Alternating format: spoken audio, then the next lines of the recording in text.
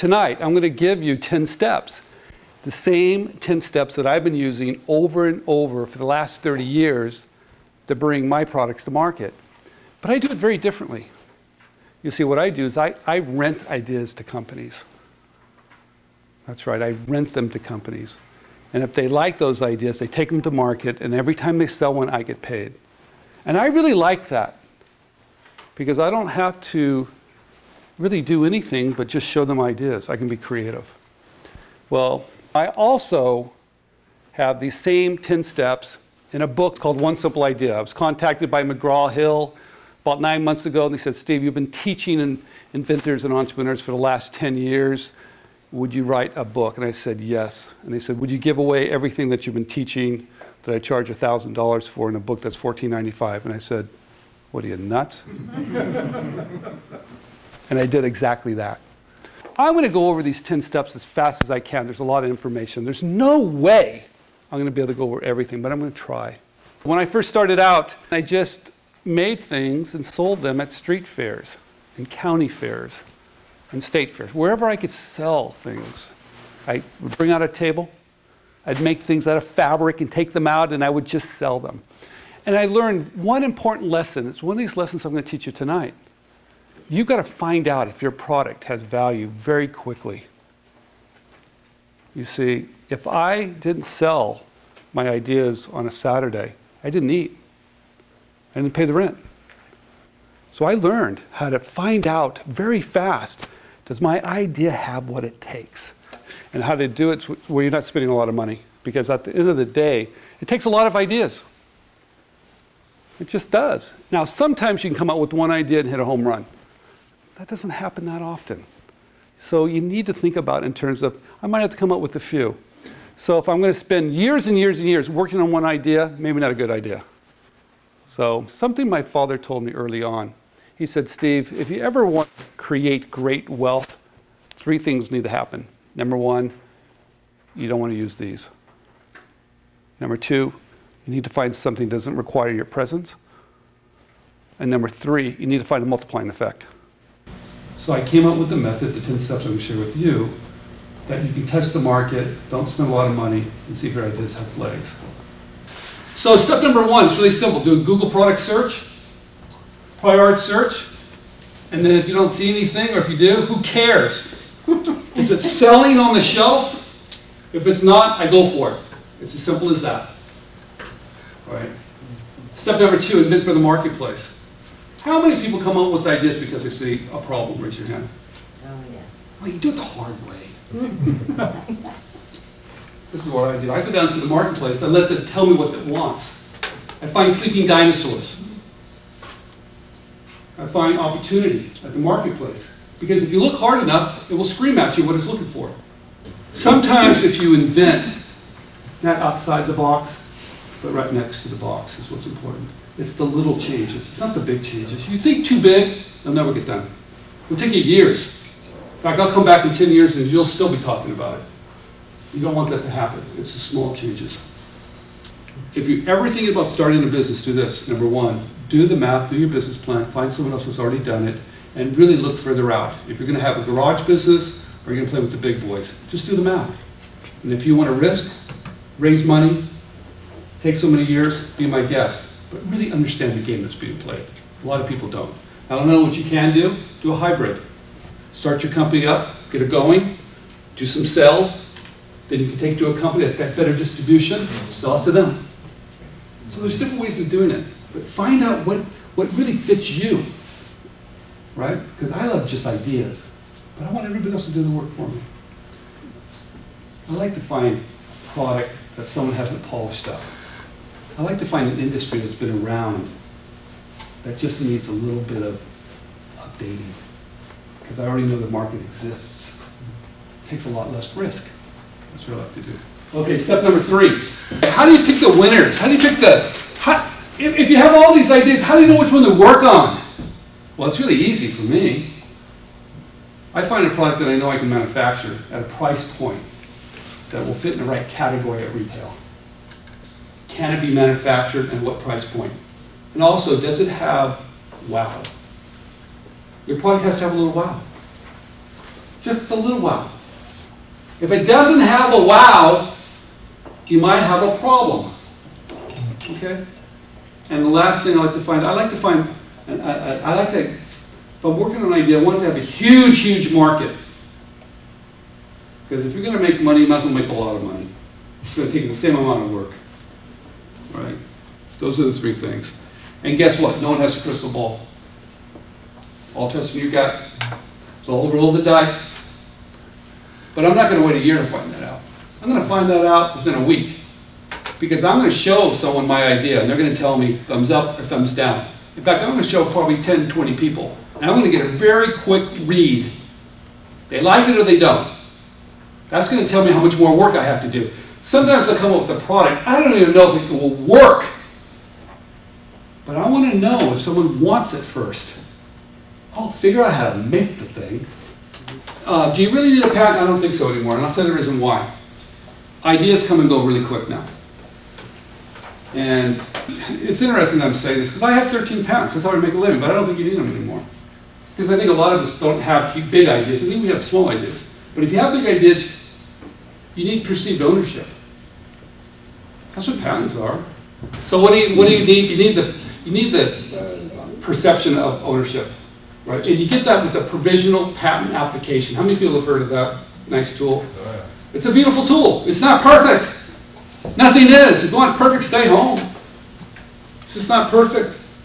But it's a great tool. It gives you one year to put patent pending the fish off the end of the pier to see if you get a bite. That's all it really is. I want to see if I get a bite.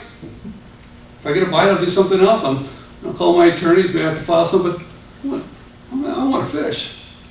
And provisional patent application gives me that. Because I have a patent pending, and they know that the product's going to go to market fast and come out pretty fast, it's first to market. It's speed to market. Can you imagine a group of engineers, an idea comes in and they're all talking about, you know, that great idea, I think we'll just steal it from that guy? How well would that go over an organization? It wouldn't go over very well at all. You know, but here's the tool that we have today. It's the internet. You used to be able to tell 10 people, 10,000, now 10 million. Three mommy bloggers had P&G so worried because they were blogging about Pampers just the other day. Guys, you don't understand. We have a voice. So don't be afraid of it. They're afraid of us. We have the power, you just don't know it yet. Because we always think we're small and they're big. No, we got the tools of the USPTO. And the PR is a nightmare for those guys if they do something funny. Now, here's, here's the thing you have to realize. They've got a bunch of smart guys in the back. And they're developing a lot of ideas. And most likely, they might have developed yours. Good chance. But no one has all the great, no one has all the ideas. All right. Okay. All right. How many people like building prototypes? Raise your hand. Don't we love building them? We love it. We love it. We love it. We love it so much we can't stop. We love it so much we'll work on that, but we won't work on marketing and sales. but you got to put a different hat. You got to put the, the prototype hat on, the protection hat on, the marketing, the sales. You got to put all those hats on. But no, we, we like the certain hats because it's we're comfortable. You guys, it's good to get your hands nice and sweaty. You know, you're alive. If not, you're not. The only time you're in the game is when you pick up the phone calling a company. If you haven't started calling companies, you're not even in the game. Not even close. All right, prototypes. I've sold things without prototypes. Now, the only time I think you need a prototype is if you need proof of concept. Does it really work? So simple, cannibalize an idea, put it on YouTube. Password protect it, and show before and after. Have wow. Here's a problem. Here's a solution. Don't put music to it. Make it a little rough. Companies like that because they're going to come up and they're going to polish it up. Right? That's a powerful tool. But if you're building prototypes forever and ever and you know, re, reworking it, realize they're going to change it anyway. Because you know what they really want is a benefit. They want the wow. What are you doing for me?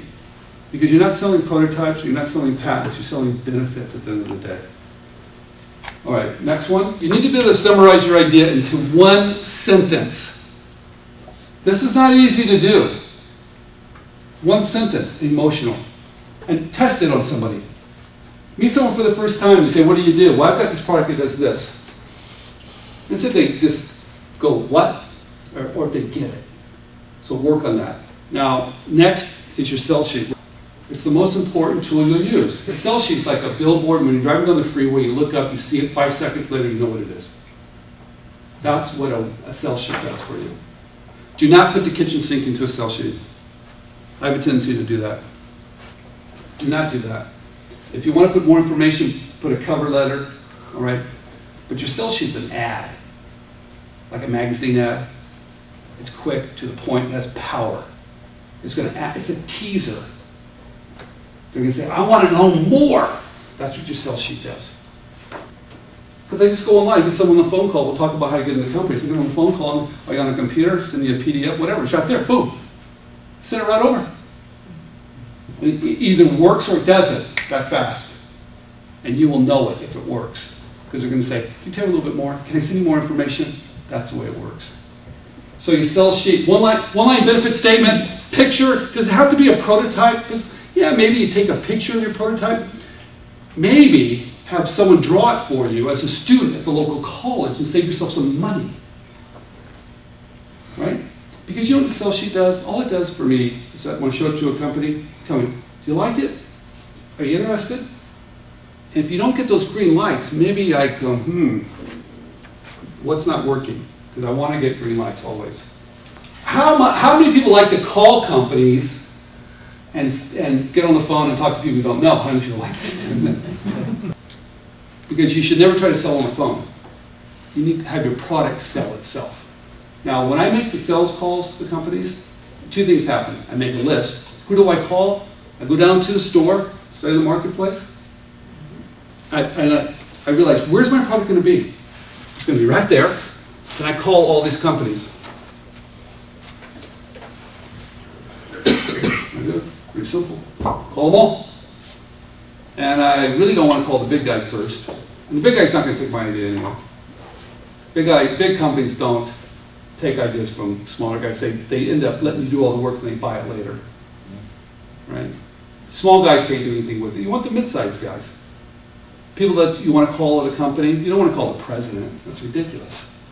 Maybe it's a small company, maybe, but most likely president. What the president's going to do, or someone really high up? They're just going to show it down to someone lower and go, you do this. You know who you want to talk to? You want to find your Superman. You want to find that one person in the company that's going to take ownership of your idea. That one person in a company that's going to get promoted. Now that person is most likely going to be in the marketing department. Okay? And it's going to be a product manager. They don't care where a good idea comes from. Maybe someone in sales. I never talk to someone in product development because they, you know, it's kind of doing their job. Legal, run as fast as you can. Never works out legal. So this is what I'll do. I'm going to give you my script that I use every time. Hi, my name is Stephen Key. I'm calling the operator, by the way. Hi, my name is Stephen Key. I'm a product developer.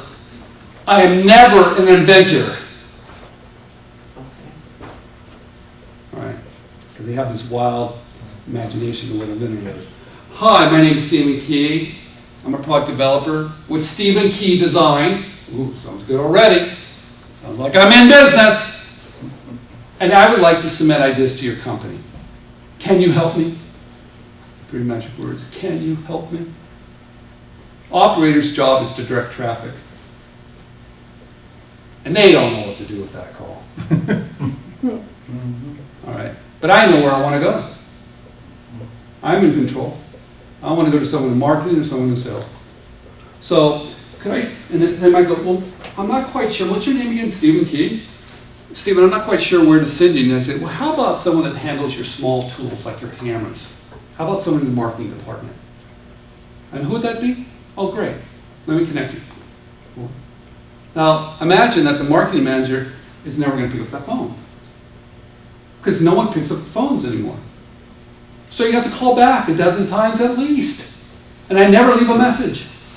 Because then they will definitely not call you back. So I like to ambush them with my one line benefit statement.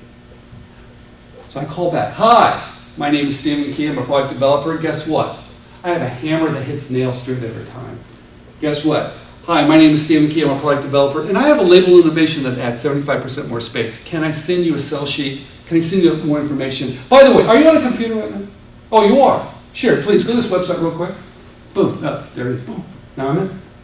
Document your conversations, but do it in a clever way. Next steps. Okay? Don't be so obvious that you're documenting all this, so if anything happens, you can call them later on the carpet for it. Cutting a great deal. This is my favorite part. Uh, the reason why, I like to find the weaknesses of companies. And once I find their weakness, I go for it. Because they're going to tell me their weaknesses. Because I don't think these guys are that smart. So when a company, when I give, when I send my idea to a company, they've got it, they're looking at it, I'm going to get this call. And the call is basically, Steve, you know, Eh, kind of interesting thing you have here. We're kind of evaluating it. What are you looking for?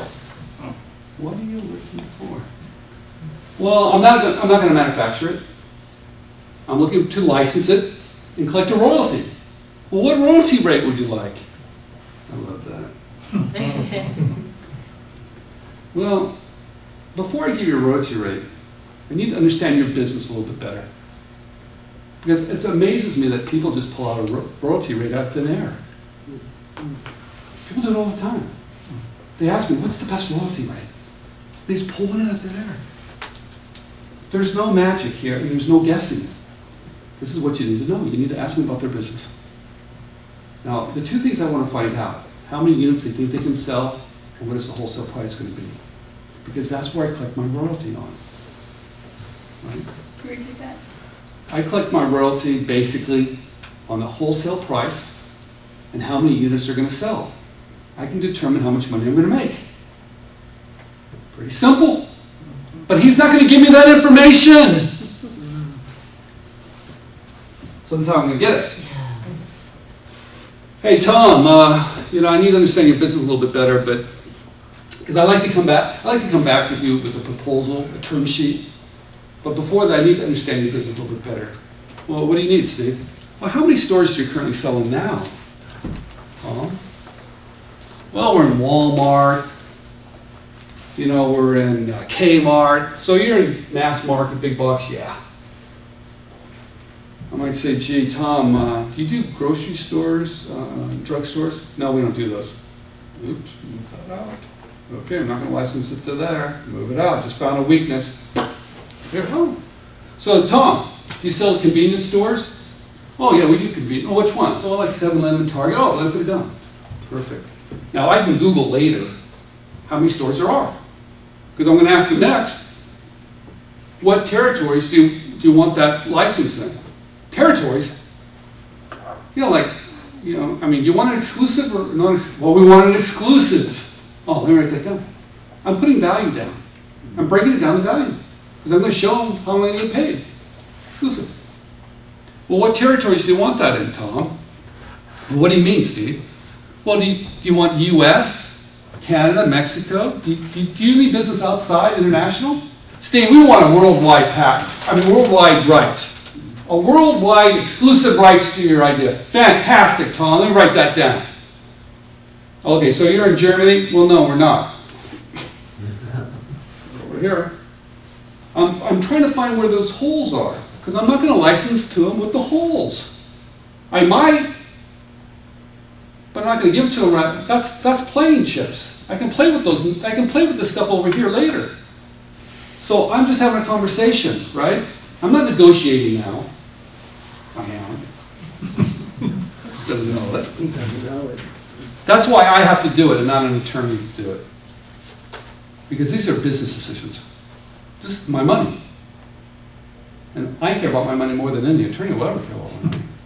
So then I come back and say, that's great, thank you very much. I go, I Google, I get online, I get all the numbers and start plugging in royalty rates 2%, 5%, 10%, and I have a chart.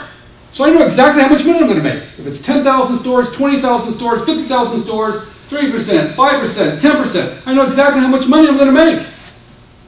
So I know the difference if I, if I ask for 7, it gives me 4. What am I really making? Maybe I could even take three. Maybe if it was on a Coke that does a billion Cokes a day, it could be about that small. know your numbers, right? You have to know your numbers. If not, you're just guessing. Never guess. There's no guessing here. All right, so now I go to a term sheet. It's really simple. I put a term sheet, I send it over to them with the proposal. And it has it broken down. Territory, worldwide, excluding Germany. Because I know you just said territory, channels of distribution, mass market, you know, C stores. I start listening. He might go, well, what about drug? Well, you don't sell it in drug stores. You already told me. So I start breaking it down. Now, I never asked for an advance either. But I think you should get some money.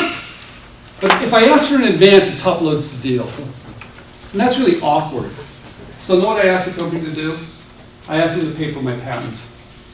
Because guess what? It's good for your business. Give you an exclusive. Protects your interest. And it's just good. I'm not going to go out and buy a new car, pay for my patents.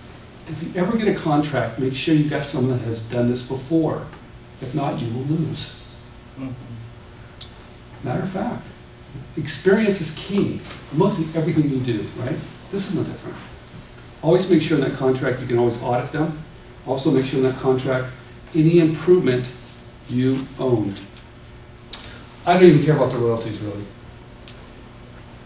I care about the minimum guarantees. Minimum guarantees is your performance clause.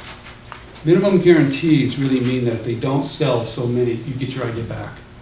If you cut a deal without minimum guarantees, basically you give them rights and they don't have to make one. So it's really hard to license it to somebody else when you've already licensed it to somebody else. You know, so if they don't sell it, they hold on to it. It just diluted value in your idea. The minimum guarantees the first year are really low. They're so low, it's ridiculous. And the reason why, I want them to start spending money. Show interest. Yeah, you have to. Second year, a little bit higher. Third year, I punch them around between the eyes. when you give your first pitch, I mean, when, when you put your royalty rate down and they ask you about it, always be firm. Always go higher than what you want because they're going to want a deal. Everybody does. You want a deal. Part of the negotiation. But when you throw that number out, don't ever speak afterwards. First person that speaks after loses. The last thing I want to talk about real quick is Inventor Notes. New website, put it up on Monday. Inventor Notes, you know what it is? It's a directory of who's who in the industry. We have people on the website that are experts, that answer questions. Take a look at it. We have stories. We're going to have an inventor showcase. This is your website. That's what it really is. It's everybody's website. And it's not going to be, there's no charge for any of it. It's absolutely free. It's my gift to the industry, period. It's called Inventor's Notes. Check it out. I think you'll love it. The other thing I want to say, the group, Inventors, this big group here, you need to stay involved. You need to find people who are thinking like you. Okay? And this is your group. This is your friends. And you need to share information. It's very, very important. And you need to come to this over and over again. And you need to learn and pass on the information to the next. It's all about passing on information. Help the next guy, the next guy, the next guy. Pass it, pass it on. And build a strong group. I know this group's been around for 28 years. It's a long time. So it's, it's working. It, it is working, and it will work. Remember, protection is this, you need to go this far. Protection is this much. Prototype's this much. So, you, know, you got all this way to go. So don't get caught up here. When we teach our 10 steps, the 10 steps is to get you to do it. I don't care if you have a lousy idea. Just do the 10 steps. If you don't do the 10 steps, you could be sitting here for years. And that's ridiculous. You need to get in the game today, tomorrow, the next day. Play the game. It's like playing baseball. To hit a home run, you got to get the bat, right? Right. It's very, very simple. Thank you very much, everybody. Thank you. Woo!